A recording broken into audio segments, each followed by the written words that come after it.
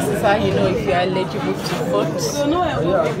You check for your names and see if you have your name out. Like if it's here on this polling unit.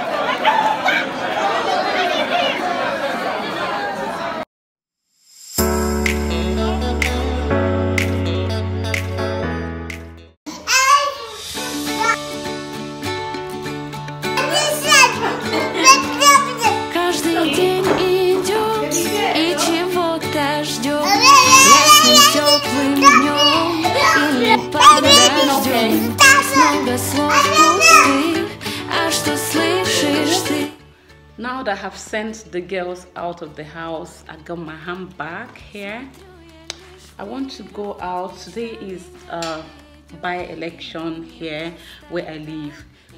This is just like I live in my state actually. For those of you that have been asking, where do you live in Nigeria? I live in my state, one of the states in the southern part of Nigeria, Cross River State to be precise. Where I come from is not very far from here. In fact, we have a lot of um, like our senators are the same, our House of Rep members are the same people representing here and where I come from. So before we step outside, let me explain to you briefly. Let me give you an insight so that you understand. The general elections is somewhere around, I think, 2023. Yeah, general elections all over Nigeria. But this one is by election because the, the person that was a senator representing this place um, passed away. May her soul rest in peace. She passed away in 2020 during COVID 19. She died in the UK. So when she passed away, the person that was in the House of Rep then, Honorable, he bought a ticket to contest for the House of Senate. He contested against another man, some other man like that, and then he won. Yo, Jarigbe won the election. He became the senator of representing this constituency. Now, seat for House of Rep member became vacant because he won the senatorial election. So that is why there's election today to fill in that gap. And uh, but what I don't understand is the election seems to be too serious. Just House of Rep elections, there have been four governors that have visited this place. Four APC governors came around to for the campaign. And um, so, man, this election is going to be tough. The battle is between PDP and APC. So I want to go out there, okay? I'm not going to vote because this is not where I'm supposed to vote. I'm, if I wanted to vote, I should have gone home to my village where I registered so I can vote. So now I'm taking a walk outside to go to some of the polling units around here to go see, probably give you guys a glimpse of what it is, how Nigerian votes the elections here. I hope you're ready. If you're ready, hit the subscribe button and um, tell me I look good because I know you. I will see you guys out there. Let's go. Everywhere is dry. There's restriction of movement today. I'm fully aware of that. Yeah, that's why I did all the cooking yesterday. If you have your own car, you can move maybe just a few miles away from your house. But there's restriction of movement. Even shops are not opening. Everywhere is quiet. I want to see what it feels like here because I've always, almost all of the elections have always been in my village. I didn't really notice much about uh, how it is in the town. So let's just go and see how it is. I'm going to show you guys some of the streets. I'm going to show you guys some of the streets here and see how dry they are. I'm walking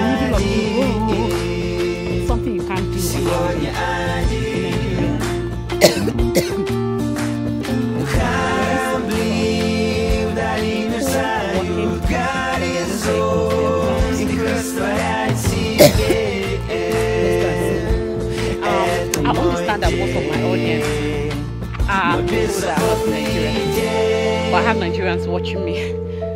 So let's gossip a little bit. Yesterday and up to today, there's this helicopter that have been hovering around, hovering around.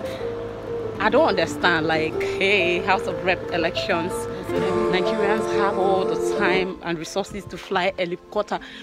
I see that it keeps on hovering around the, one of the contestants' house. I don't know why. I'm worried a bit. Like yesterday, I was like, "Hey, my God, I hope they're not about to harm him," because the man is from my place. But the man's house is close to mine, to where I live. I live in a developing site. Like this place is developing. I don't live in the heart of the town itself because I don't like noise. You get it? So you.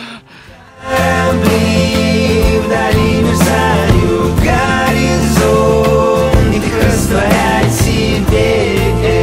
getting close to one of the centers and people are arguing, people are fighting. So I don't know what to expect if I'll be able to film when I get there. Because today nobody is playing with you. You can get you can easily be beaten and your phone taken from you in the name of you know, if you report to the police, they may lie against you that you try to do something.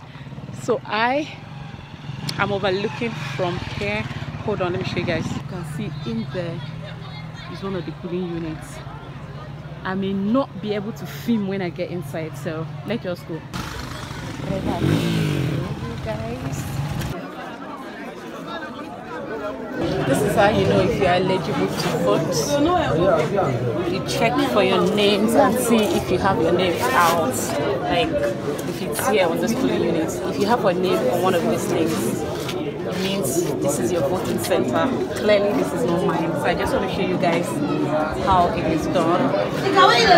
So now going for counting by uh, polling unit to polling unit will count all and so okay. So are you going to go close yes i'm going to Okay, that means I can come with you. Thank you. Hey.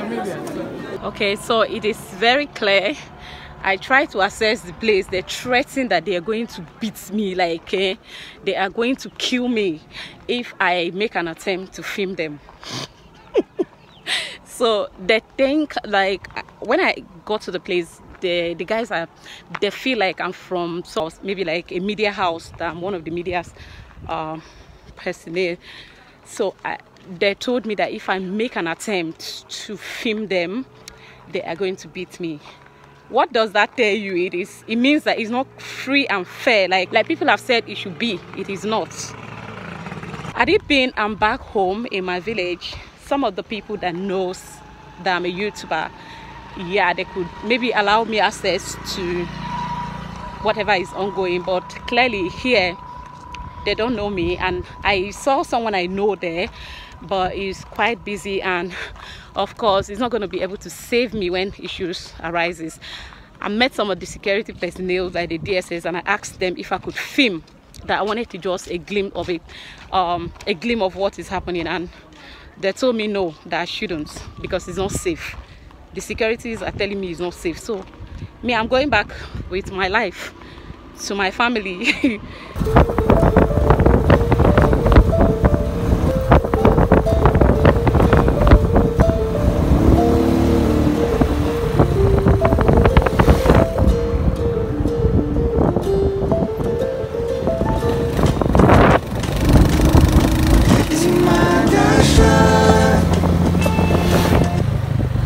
okay, there's a polling unit. Eh, now this one, okay. Hmm. You don't.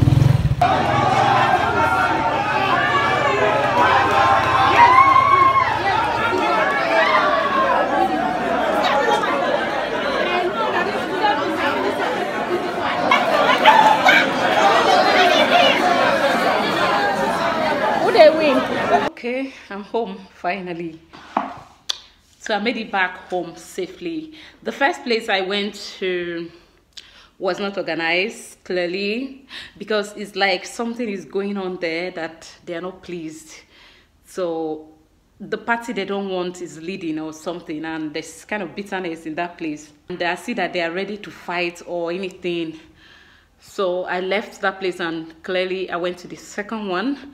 That place they were a bit more organized. If it looks like majority of the people in that place are for one of the other parties, that's PDP, while minority of the people voters there are for APC. So the, according to the the counting of vote that was happening there, APC, I mean, um, PDP was clearly leading at the second polling unit. The other one, they didn't get to count before I left because, you know, they were not organized and that kind of place. If I hear that uh, a fight break out there, I will not be surprised. Okay, so now that is that. It was yesterday here that I discovered that the Ministry of Power and Seal is from this place. So that man is from here, yet there's no power supply here. And I saw in the news yesterday where he was boasting that there is steady electricity supply in Nigeria. It's okay, here is Nigeria. And these people had to close their shops, close their whatever they are doing to go stand under the sun, risk their life, and vote for any party they choose to. Even with the fact that there's no electricity here for the past how many weeks, like there is no single power supply here. So people go, those that do not have generators to pump water, they go far away to buy water.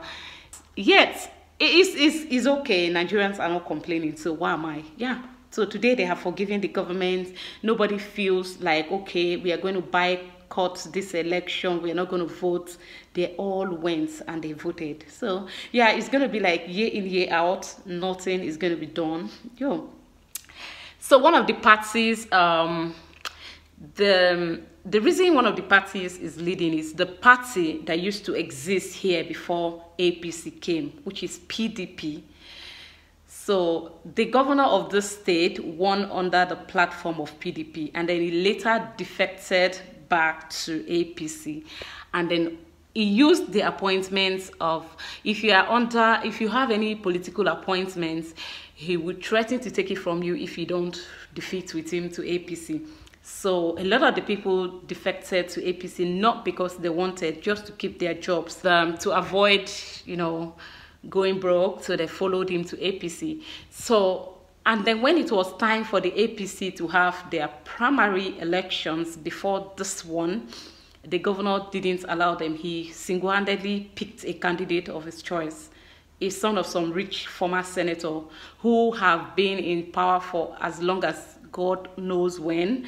So they picked him to to to represent APC without primaries. So a lot of people were bitter based on that. They said, okay, they are going to give their support to PDP.